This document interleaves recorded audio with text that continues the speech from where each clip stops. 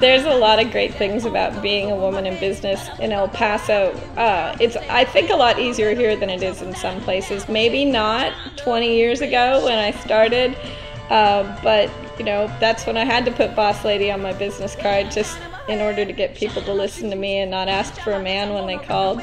But you know there is a lot of respect for the art, and as soon as you show people what you do, they take a step back and they take you seriously, and I think we've accomplished that.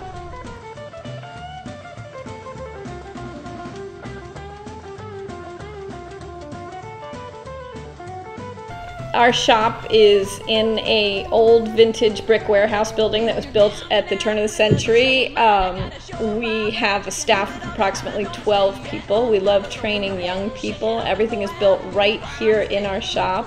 It's all 100% custom. So the oldest, coolest way of making handmade custom boots, 100 lemonwood pegs in each sole, no plastic. There is nothing that leaves America. it's all made in the USA, just cowboy authentic. This time we got a letter from House of Holland, a fashion house in London, and they said they'd been stalking us on the internet and would we make some crazy boots for London Fashion Week for their runway show. And turned out we did all of the boots for their fashion show and we got to go to London and our boots were on the runway on all the top models and it was at the Tate Modern and I got front row seats next to the designer's mom and it was a blast. One of the best parts about doing the House of Holland runway show was we got reviewed by Vogue.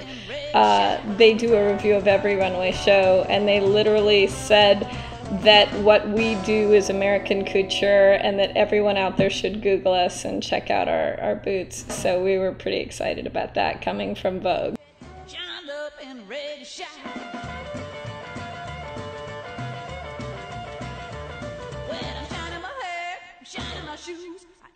My. Lips. I'm gonna rock away my blues, oh, baby.